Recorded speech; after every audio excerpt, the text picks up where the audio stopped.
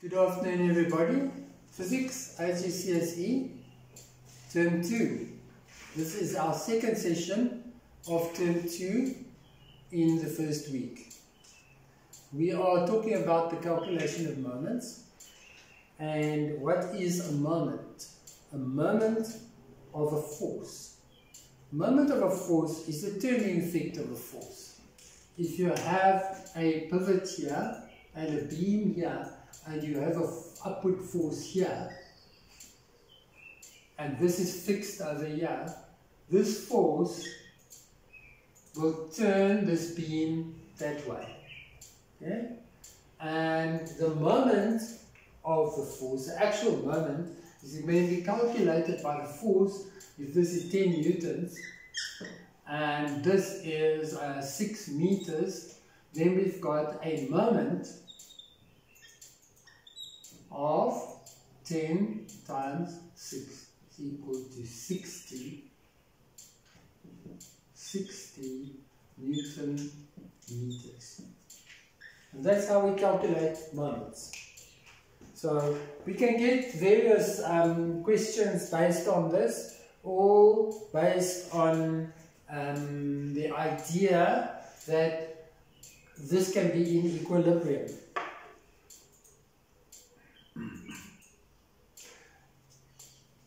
So if we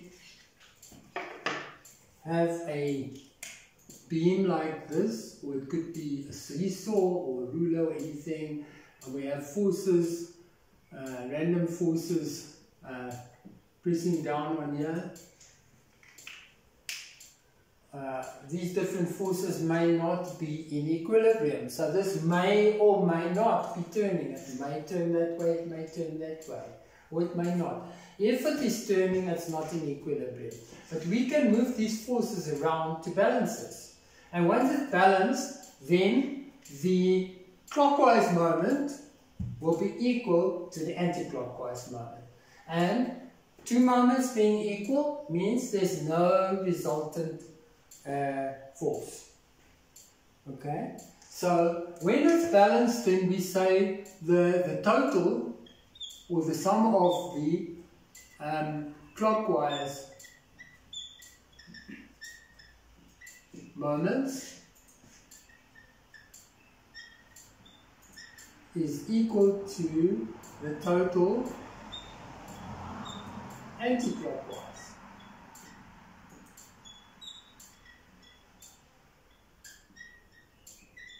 moments. And there we have an equation. And this equation we can use only if the system is balanced.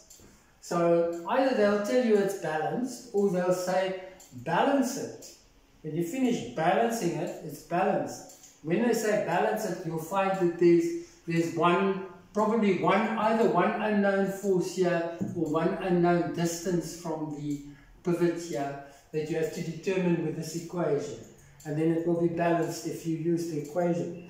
So um, we can use this equation to solve problems. If you have a look at um, example 4.1, 4.1 gives you a diagram there and then from the diagram you get this equation so which is uh, 20 newtons multiplied by 0.5 meters plus 10 newtons multiplied by 1.5 meters. And this is equal to a force times 4.5 meters. Okay? So we're going to calculate this, the uh, brackets first. Is force times distance of the one force, force times distance of the other force, and um, don't forget this 1.5 meters. You have to add the two distances because this force is 0.5 from the pivot. This force is, I think it's, it's about 1 from this force, but it's still, this force is also a distance away from the pivot. So you have to add the two distances. So we multiply this, we get 10 Newton meters plus 1.5 is 15 Newton meters, which is equal to 4.5 multiplied by F.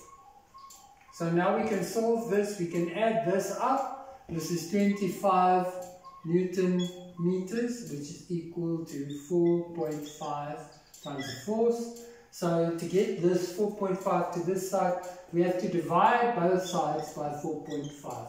You should know how to do this from your math, but um, for those of you that are not used to working with equations, this is how you manipulate equations. These two cancel, and you're left with 25 over 4.5 equal to F.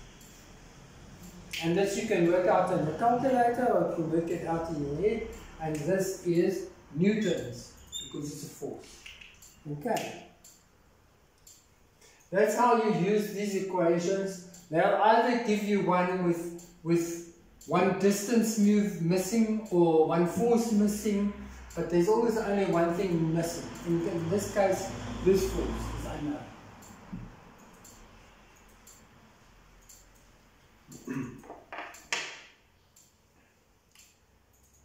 Question 4.3 in the course book you uh, can have a look at. We're going to uh, work through that now. Um, we have a beam here. I'm not exactly sure what they call it in the course book, but it's a beam or a seesaw or whatever. And we have a force down here, a force that they call X. And there's a force down here, which is 400 newtons. And the distance over here between this pivot and that force is 2.5 meters. And this, the other distance is 1.0 meters from here to here. Okay, this is from here to here. And then they've got another force here going up here, which they call Y. And this force they refer to as the upward contact force. Don't worry about this in the first part of the question. First calculate x using this information. Because this is the information that goes into the equation. So we got the, the this will be a clockwise moment because it's going to, an anti-clockwise moment. So it's going to turn it that way.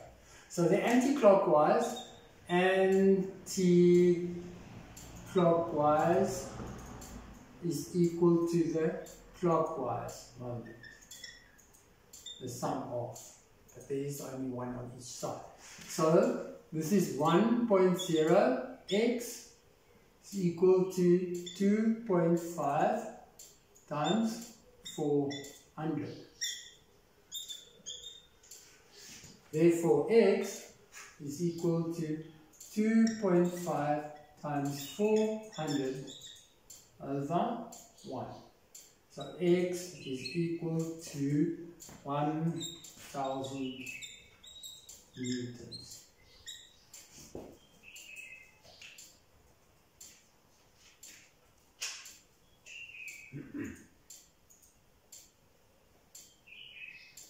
So this is a force here of 1000 newtons. Now we know what the total downward force on this beam is. It's 1000 newtons and 400 newtons and it's in equilibrium so these two are pressing down in the same direction because this thing's not turning because it's in equilibrium it's balanced so I'm going to I'm going to rub out this now and now I'm going to say that um, the total upward is equal to total downward.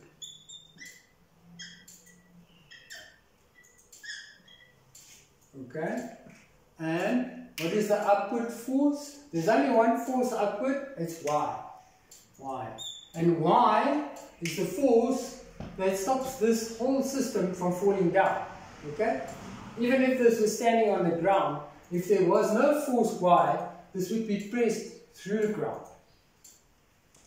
Y is equal to 1000 plus 400 because this is not only, we finished talking about equilibrium in the clockwise and anti-clockwise moments.